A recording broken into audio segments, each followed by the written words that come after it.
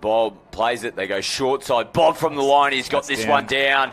30 seconds left on the clock. I think it's going to be too little, too late now for the Bulls.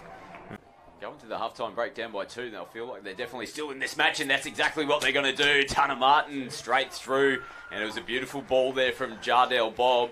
himself.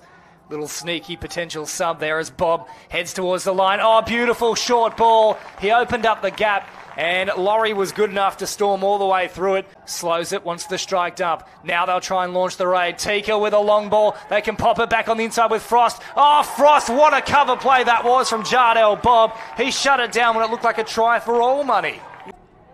Bob, he'll get himself in the half, picks up, goes that early release yet again. He's coming off the right foot, looks like a little bit of an air swing, and I think it might be back to back tries from Tommy Green.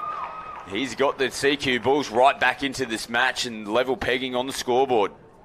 and Martin, the two middles operating effectively so far. Bob with a long pass. They caught Castles absolutely stranded. Laurie keeps the width, and the first try of the drop off goes the way of the Central Queensland Bulls. 9 8 on the pain away scoreboard.